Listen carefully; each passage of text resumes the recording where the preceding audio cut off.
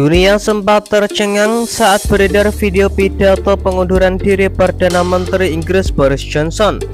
Pengumuman pengundurannya pada Kamis 7 Juli 2022. Hal itu terjadi usai dirinya ditinggalkan para pendukungnya yaitu para menteri dan anggota parlemen Partai Konservatif. Mereka menganggap Boris Johnson tak pantas lagi menjabat sebagai Perdana Menteri.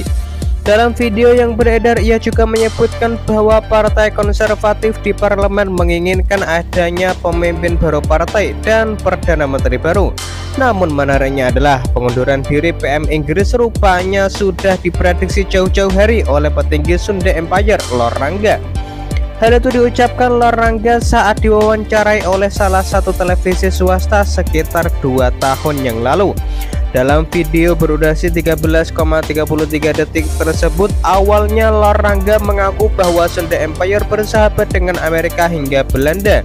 Ia juga menyebut telah membangun kekerabatan dengan sejumlah negara dari Amerika Serikat, Inggris, dan Belanda. Karena menurutnya dalam membangun bangsa tidak cukup bila hanya di internal saja, tetapi posisi tatanan Indonesia juga harus diperhatikan.